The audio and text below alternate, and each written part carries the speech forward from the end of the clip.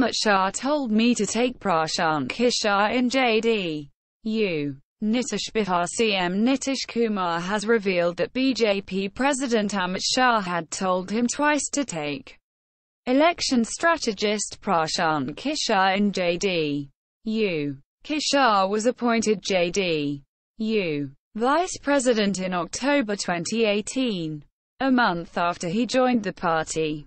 He had earlier worked on PM Narendra Modi's 2014 general election campaign as well as Kumar's campaign for 2015 assembly elections.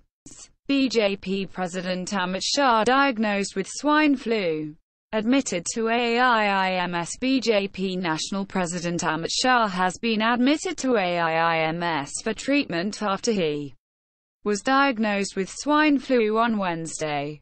I have swine flu, for which I am being treated. I'll recover soon with God's grace. Your love and well wishes, Shah tweeted.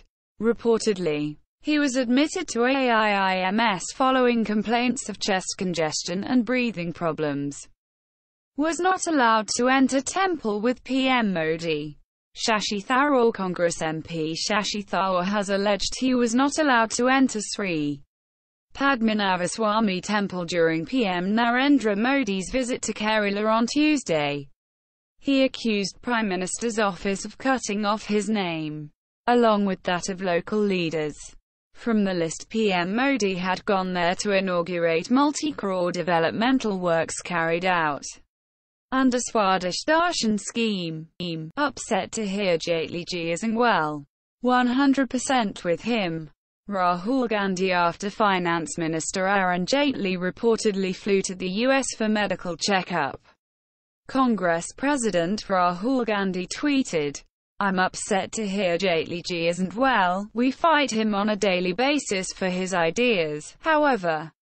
I and Congress send best wishes for speedy recovery, he added. We are with you and your family 100% during this difficult period, Rahul said.